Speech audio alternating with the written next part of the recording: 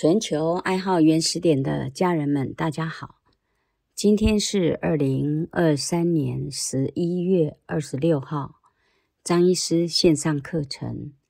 我们今天的主题是答疑和实作。张医师呢，我们现在就开始答疑的部分。我们今天有四个提问。第一个提问：张医师你好。用跪姿按肩部原始点，好像好难按，没有什么力。今晚我突然站起来，跟按背部这么按，就突然觉得有力了。站着按，您觉得怎么样？或者是我掌握不了用跪姿按肩部？我看了很多次肩部的手法，好像好难学。总感觉没有力，请老师答疑。好，我们现在来回答学员第一个问题。他的问题是说，我们手法按推肩部原始点，他觉得跪姿好像使不上力。那上次我有说过了，呃，肩部原始点啊，不管坐姿或是其他方法。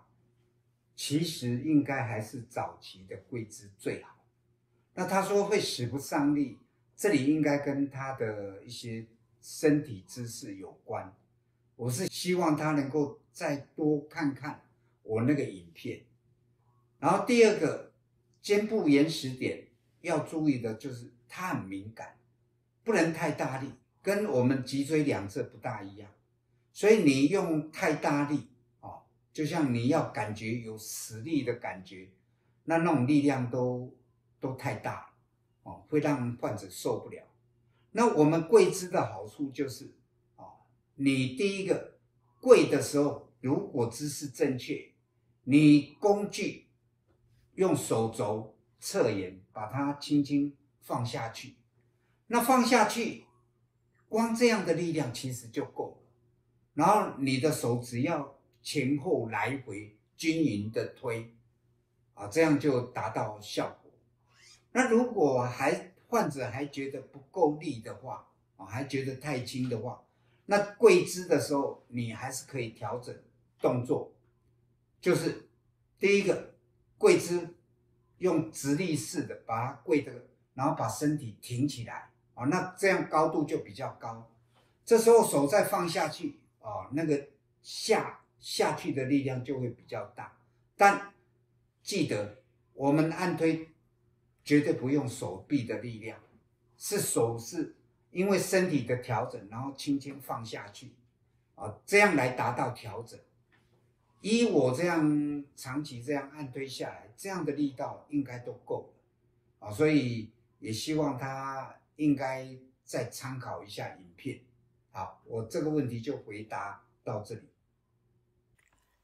提问二：我妈妈现在是结肠癌晚期，医院已经没有办法，她已经一个月不能正常进食，只能喝一点点汤。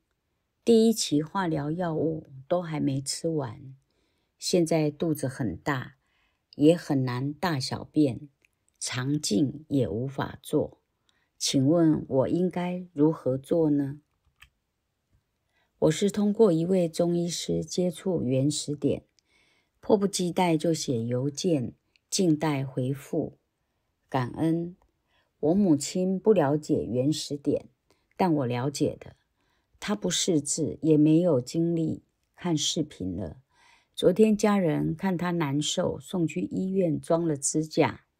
母亲现在肿瘤已经发到肝上去了，非常难受，不能进食。不能通便。我看了您的视频，准备去给妈妈灌肠和按推，但是我还没开始，他们就已经送医院了。我不希望妈妈再受外力所伤，我相信有解决办法，相信原始点启动自身愈合机制。现在癌肿瘤已经装了支架。饮食和运动，母亲都已经没办法了。趴着也不能，肚子有十一公分多的肿瘤，只能平躺着。请问，按照原始点按推，除了腹部，我还能做的有哪些细节呢？烦请说明，感恩，请老师答疑。好，这位学员来问的是他妈妈结肠癌的问题。啊，现在情况是他妈妈做过化疗，啊，第一期还没有做完，但人已经很难受，啊，第一个不大能进食，啊，只能喝一点点汤，哦，这样持续已经有一个月了，而且大小便也没力，常常不通。那他的孩子很想用原始点。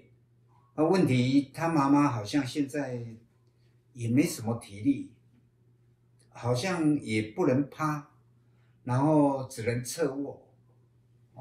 那在我的看法，第一个原始点其实处理肿瘤不是问题，问题是到底这位患者体力怎么样？那如果依您啊。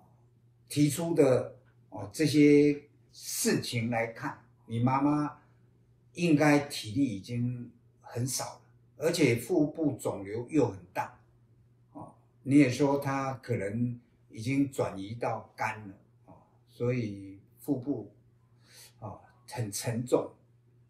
那在我看法哦，像这样已经又做过化疗，然后又吃不下。大小便也无力，然后肚子又很大，然后好像呃，就是也没有办法再做什么运动，体力很差就是了。听起来哦，虽然没有看到人，但光这些叙述，以原始点的研判，它应该是蛮严重的，因为我们的重病里面哦，还有分。啊，就是一般的重病，只要有疲惫啦、面无光泽啦，哦，甚至啊讲话有气无力呀，哦，行动迟缓无力，这些就算了。但是他不只是啊这样，而且又已经一个月了，又做过化疗，体质我认为也已经破坏，哦，所以比这个更严重。那更严重要怎么来看呢？第二个。重病如果他体力缓慢下降的话，那就是有危险性我们在诊断与治疗里面都有提哦，这个时候哦，选项已现，可能要开始来哦，叫他要怎么样来调理。但是以目前这个肚子又大，大小便又无力，又不能进食啊，这样我看应该是体力急速下降。应该也就是属于第三阶段，那重病第三阶段就是已经算是蛮危急了。我们书本上写的就是命危。如果我光听这样的叙述，我第一个我认为这个患者他现在已经算是已经蛮危急。好，那这么危急下能用原始点，第一个。原始点当然就是为啊任何的病患提供一个正确的方法，让患者能够更舒服。但到命危的时候，处理上确实要有很多细节，也要小心。第一个，你光按推就好，按推你那个手法啊，一定要很轻柔，也就是你那个手根本不能用蛮力，也就是。手那些工具啊，它只是轻轻放着，然后靠身体来调整稍微力度啊，然后慢慢轻推，这样才不会伤到患者。要不然，如果你一使用蛮力，他可能就受不了。所以，越到重病处理的时候，那个手法是越讲究啊。所以这一点我特别提醒一下。再来，你也想说大小便因为。很难很难排出来，那你想灌肠？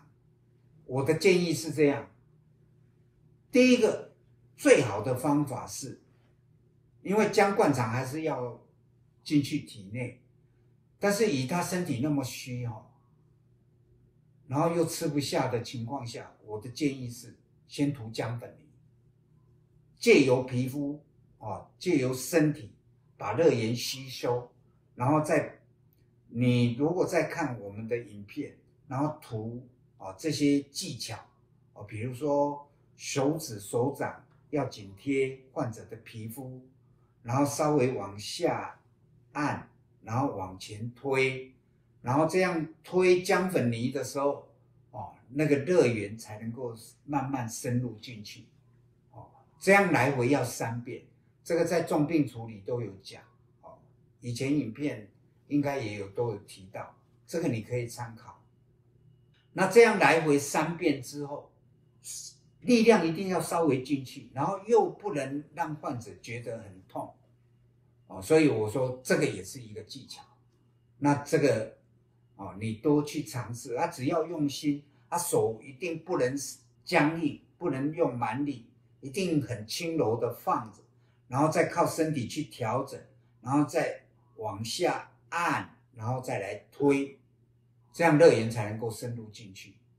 那一天可以按推个啊两三次，啊每一次一定要三遍哦，也就是所谓的一遍，就是你涂姜粉泥，然后往下按，往前推，然后这样推完，第一遍一定要推到姜粉泥都变干掉，然后再把屑屑剥掉之后，再重新再一遍，也就每一次都要如此三遍。哦这样热才能进去，然后如果有必要，一天要三次，哦，这是我的建议。那如果有热源进去，你懂得啊，在腹部、还有背部、臀部啊这些按，哎，说不定他大小便就容易畅通的，还不一定要用到哦姜灌肠，除非了哦，这样你用然后。姜粉泥也大面积涂，然后一天来回三次，还大小便还出不来，那这时候才考虑到用姜灌肠，是这样。姜灌肠是补助，但绝对不是啊，就是可以取代姜粉泥，反而姜粉泥在我看法更加重要。哦，那这个在涂姜粉泥又懂得这样按再往前推。其实那个动作都有一点类似我们的手法的舒缓，哦，那这样经过又舒缓又有姜粉泥的热渗透进去，我相信患者一定会立刻有感受，也就会有改善。那这个是我对啊您的建议啦，啊，情况应该哦没有想象那么乐观。我我的看法是啊。已经到重病，算是最严重的啊，那所以照顾要非常小心。但原始点，它在我看法哈，一般重病容易处理，那到显象哦，也就是体力缓慢下降啊，那个也还好。到了命危，就是你已经一个月都不大能吃了，我相信这样体力一定是不行的，好，然后。大小便也无力，肚子又胀，那这个就是已经算是命为。那命危原始点的处理啊，一般有可能好，也可能不好。所以我常常会告诉患者，一定要做最坏的打算，然后要做最好的准备，这样才是正确的心态，而不是说。我急求用一个方法就能够让患者哦，好像起死回生哦，能够逆转哦，这这个都不现实的哦，所以你要用延时点，我是很欢迎，但你那个心态上也应该要有一个正确的观念，这样才不会造成你的压力。他以为哦，你有这样好的方法一定会好，可能他也会哦。受挫也说不定，所以心态都要调整好。那重病处理那一篇，你一定要多看一下。好，我的建议就到这里。提问三：基金会的老师您好，我是来自吉林省长春市的原始点学员。我从二零一六年一直学习原始点，在老家开了一家公益点。我几乎每天都观看张医师的视频讲座，我也有和张医师认真学习手法。一直以来的愿望就是去台湾和张医师学习，提高自己的手法和理论。希望老师回信告知一下，感恩您。我还有一个小小的心愿，就是可不可以留在基金会做义工？希望更多的人获得健康。请老师答疑。啊，这位学员来信，那希望说他能够到台湾基金会来学习原始点的理论跟手法，甚至可以的话，还可以留下来当志工。啊，对于这个问题，我的回答是最好不要了，因为毕竟太远了。这样你花费也会很多啊，不如哦，比如说，呃，我们这一次元旦也有在香港举办培训课，不但有理论，也有手法的教学啊。那以后如果有这样的活动，你就多报名参加就可以了。那如果万一报名不上，哦，也可以就近学习，比如说吉林，我记得上次培训也有派人来香港学的，啊，学的还蛮不错的，啊，我建议你就直接到他那里，然后他们也会教你，啊，如果当然了，先决条件就是你是真的想帮助人的，那如果你是要开馆。哦，然后收费的，那我就不敢讲，那个公益点也不可能这样教你，所以啊，最好还是在就地比较近的地方学，对你是最有帮助的。啊，这个问题我就回答到这里。提问四：我是内地河北省保定市的原始点受益者。学习官网内容，每周坚持学习视频内容，亲身体验及实操手法。二零二二年完整版已看完三遍以上。学习中想发心推广，追根溯源，更愿拜访台北总部，以求同根同频。请老师答疑。啊，这位学员的问题跟上一个还蛮类似的。啊，他是说他接触了原始点之后，啊，也很坚持在学习，然后都有看视频，然后我出版的完整版哦，简体版，他也看了三遍了，哦，应该对里面的内容也蛮熟悉，然后他不止啊。有亲身体验，还有实际操作。不过他还是有一个想法，他说如果可以的话，他也想来台北啊。那来台北学，就是希望说他学的哦不会有偏差啊。这些对于这样热忱的学习者哈，老实讲，我都听了都蛮感动的。哦为一个法，然后愿意这样来发心学习，甚至学完之后想帮助人，这很好。不过还是一句话啦，其实第一个哈，路途太遥远了啊，相见不如不见呐，啊，也就是不如在视频看我还比较切实啊。跑来台北也不一定见得到我，因为我个人也忙，然后再来。你说的那个书已经看了三遍，我觉得可以配合影片看，光看书不一定能够充分理解啊，这是我对你的建议。然后将来也会有新的资料啊，比如这个完整版，我光今年哦一路修改也改了九个多页了。我相信现在的内容又比之前会更完善哦。那这些新的资料都会在啊未来的视频里面、影片里面来发表，所以我也希望说你就这样坚持，就可以看到最新的理论、最新的教材。然后如果在手法上哦有什么哦想提升的话啊，那就是我刚刚讲的。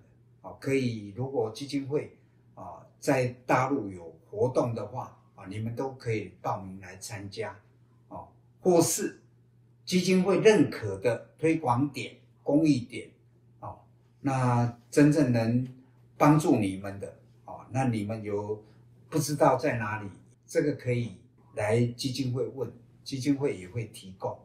好，这个问题我就回答到这里。谢谢老师的答疑。那我们今天答疑部分到这里，我们接下来的是实作分享。我们今天有两个案例分享。第一个是羽毛球击伤眼睛失明案例。好，我们现在先放这个案例。羽毛球击伤眼睛失明案例。我二十六岁。二零二二年元旦打羽毛球时，眼睛受伤，严重出血，失明。送医院诊断为右眼球钝挫伤，右眼前房积血。医院建议住院治疗。因母亲学过原始点，并且常用原始点帮助别人，母亲带我到公益点。志工帮忙按推头部原始点，温敷头部，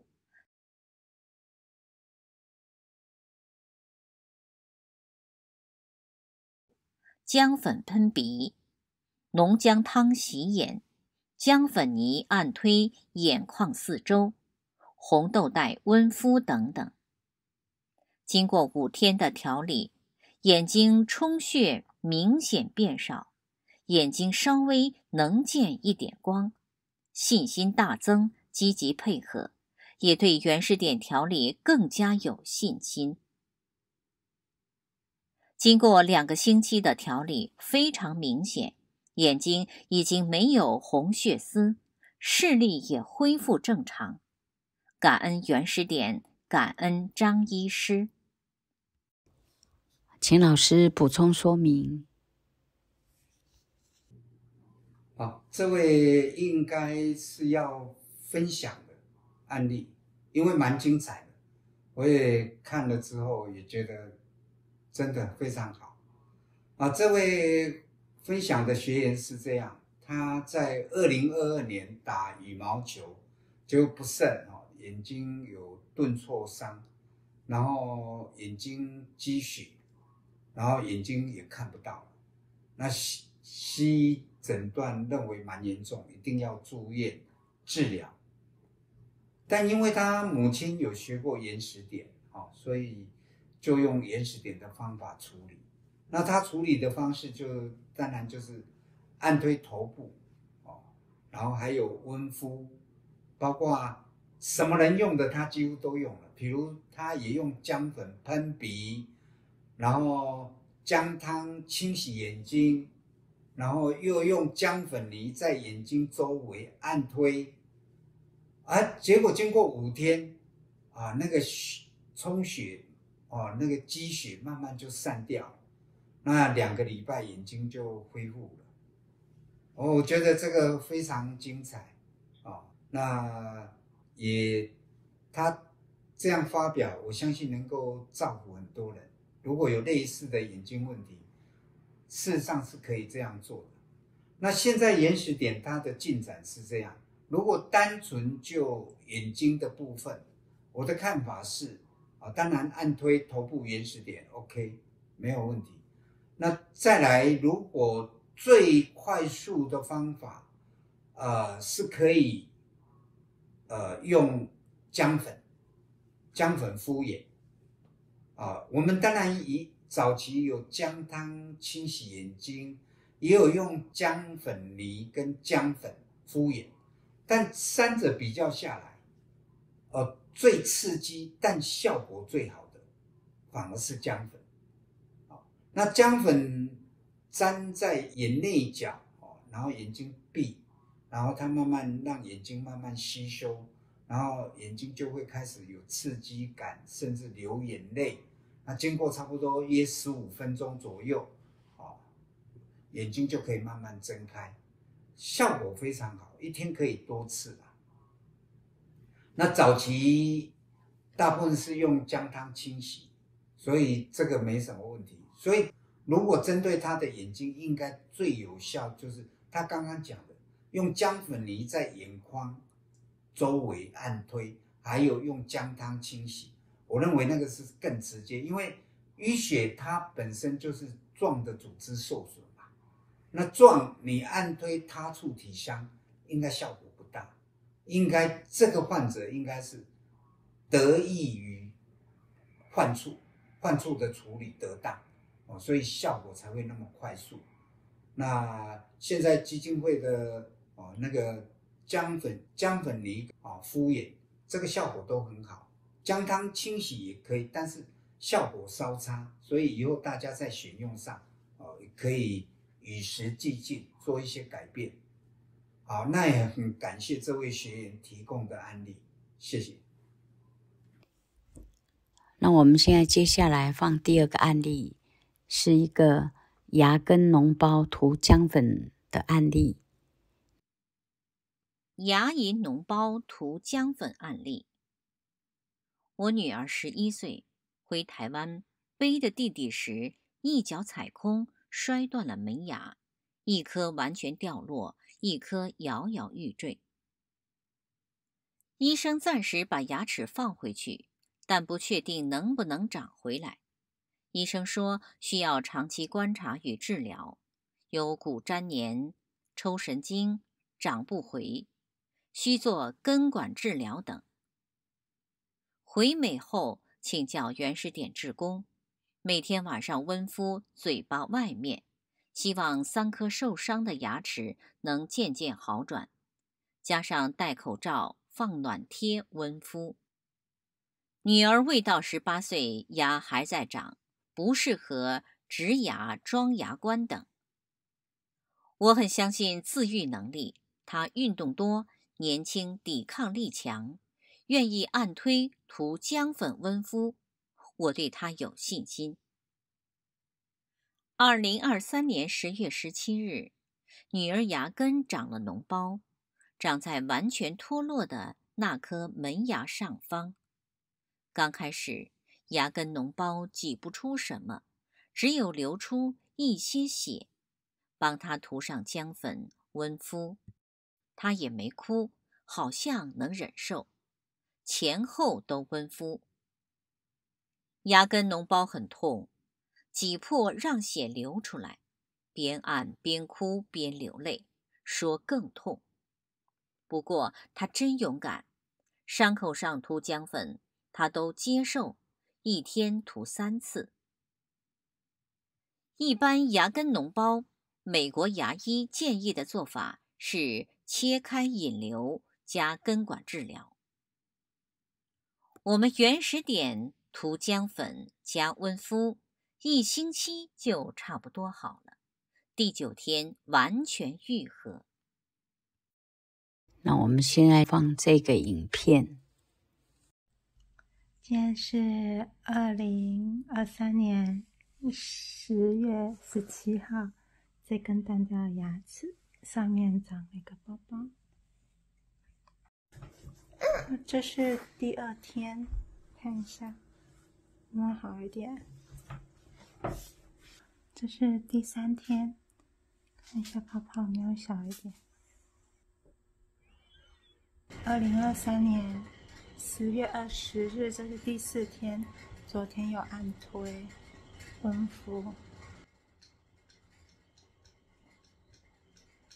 二零二三年十月二十日第四天现在我们把那个脓挤出来等一下再抹一下姜粉。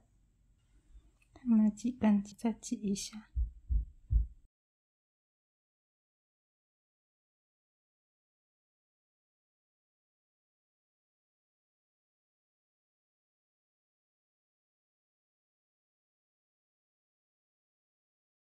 二零二三年四月二十一日，今天第五天了。我们昨天把脓包挤完，又涂姜粉，看一下现在怎么样？好像好，像跟隔壁的差不多了哈。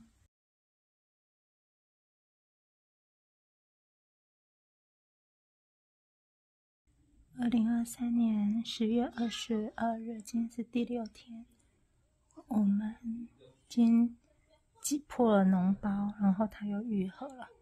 现在做第三次。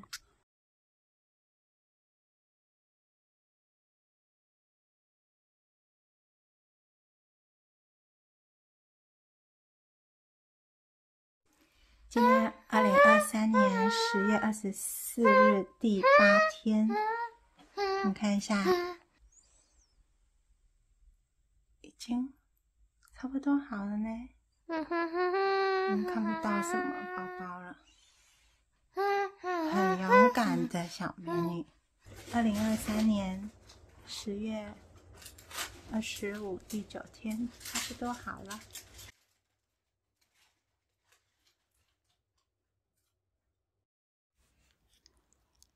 请老师补充说明。好，这位学员提供的案例非常精彩，就是他的女儿有一次摔伤之后，那一颗门牙掉落，那另外一颗断了断裂了，啊，另外一颗摇摇欲坠。那他去找牙医，牙医也帮他那个掉落的把它植回去。啊至于以后会不会好，牙医也没有把握。他只是说，如果观察如果没有好的话，将来可能还要抽神经、做根管治疗，种种。哦，那他母亲就想用原始点来处理，也问了志工。